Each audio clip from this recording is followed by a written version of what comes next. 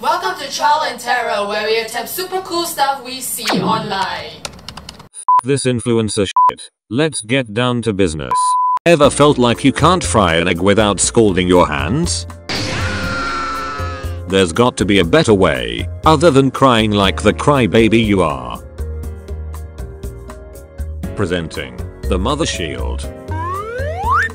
Made of eco-friendly materials for the tree-loving hippie you are. Simply take a plastic bottle and cut it up.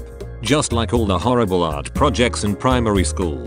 Fashion it onto your favorite spatula, and you're ready to fry some sick shit. Time to test it out. Don't expect Gordon Ramsay to be impressed with this, because this is meant to test the shield, not whip up some hipster gourmet meal. We realize that this is too small. It feels as insecure as wearing a teeny weeny string bikini on a crowded beach. Ah that went far. So as seen in the video, the splatter goes up to 100 km per hour, like you running away from responsibilities.